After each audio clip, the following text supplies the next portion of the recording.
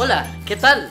Hoy vamos a aprender sobre la relación que existe entre el género literario, el movimiento literario, el contexto sociocultural dentro de un texto determinado. La importancia de esto radica en razones de crecimiento personal como de interacción social. Desde la lectura por recreación, por desarrollar la imaginación y la creatividad, por bagaje cultural o por entender ciertos rasgos culturales. En un mundo globalizado como el actual, es necesario considerar una serie de elementos para interpretar concienzudamente un texto. Pesar desaparece y mi valor renace, pero ¿seré alguna vez capaz de escribir algo importante? ¿Podré ser algún día periodista o escritora?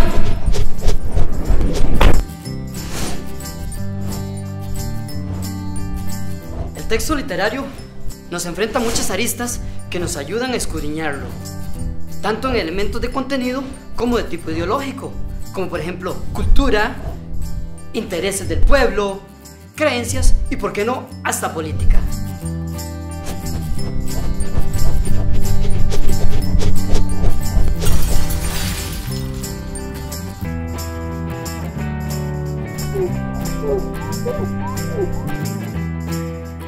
Sumergirse en la lectura es sencillo cuando un texto está bien escrito.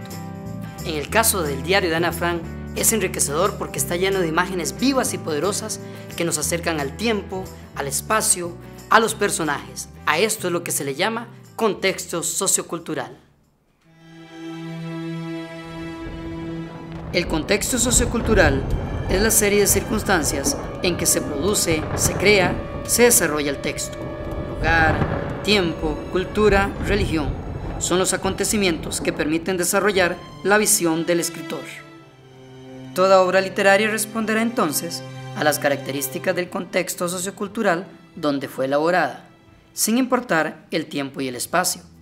Holanda, 1942, España, siglo XVII y Grecia, siglo VIII a.C. Por ejemplo, en la obra La Odisea, se debe estudiar primero los elementos históricos que dieron pie a la guerra de Troya, la cultura griega, las costumbres, su religión, los conflictos, etc.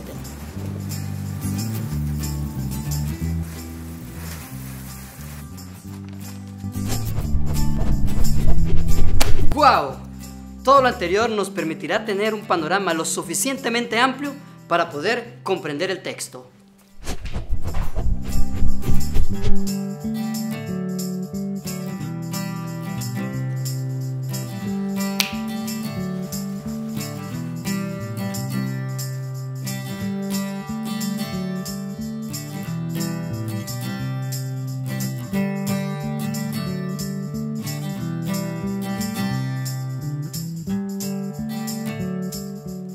Por otra parte, el género literario permite ubicar el texto en una de las modalidades existentes.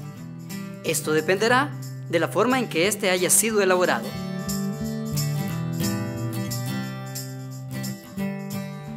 Los géneros literarios más comunes son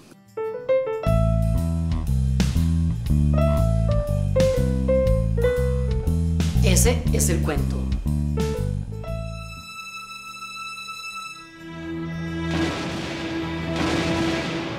Esa es la novela. Alma negra como prenda de la mentira que ha dicho tu alma. Deja intacta mi soledad. Aparta tu busto de mi La puerta. poesía. Aparta tu pico de mi corazón. Aleja tu forma de mi puerta.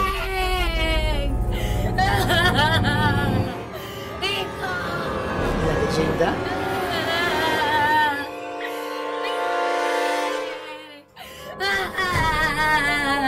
Aleja tu forma de mi puerta.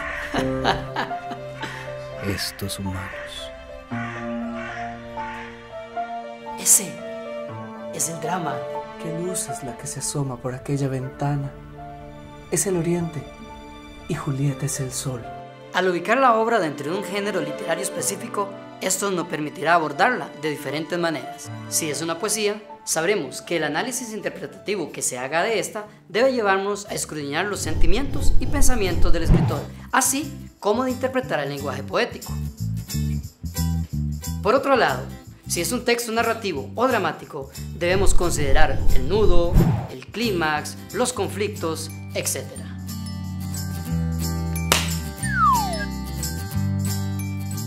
Otro elemento por considerar en el análisis de un texto es el movimiento literario.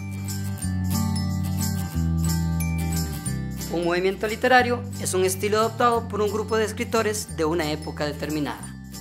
Este estilo es insertado en la obra con el objetivo de expresar determinado pensamiento o ideología.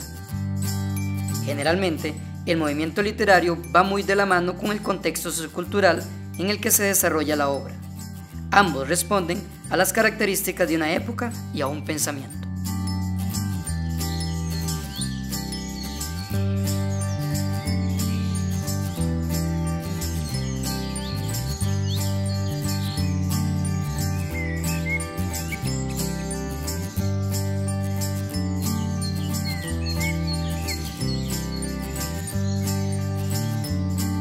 La historia ha clasificado a los movimientos literarios según las características que estos presenten. Así las cosas, dentro de los movimientos más importantes encontramos el romanticismo, el modernismo, el realismo, el naturalismo, el vanguardismo y sus ramificaciones.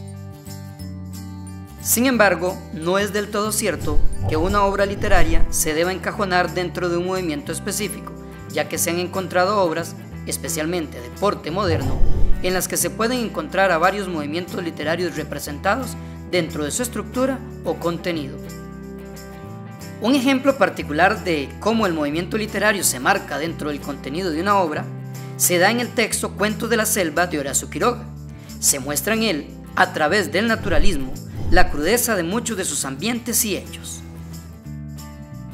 Para evitar equívocos a la hora de diferenciar entre un género y un movimiento literario, debemos saber que los géneros son establecidos desde siempre y nunca van a cambiar. El cuento, la novela, la leyenda, la poesía, el drama, el ensayo. Por otra parte, los movimientos literarios son entes cambiantes que evolucionan a partir de épocas, a partir de pensamientos, de ideologías. Podemos mencionar dentro de ellos el romanticismo, el modernismo, el naturalismo, el realismo y los movimientos de vanguardia. En conclusión, el texto literario se convierte en un collage de elementos que le permite al lector viajar en el tiempo y en el espacio. Le enseña culturas diferentes, religiones, personajes históricos, ideologías. Todos los elementos antes citados se conjugarán para dar vida a las ideas del escritor le permitirán al lector nutrirse de conocimientos como del texto en sí. Esta es la magia del texto literario y este es el sustento que proporciona para nuestra vida. La inmortalidad de su autora, de los hechos, compartir con los personajes y hacer de su vida parte de la nuestra. Esa es la magia de leer. ¿Seré alguna vez capaz de escribir algo importante? ¿Podré ser algún día periodista o escritora?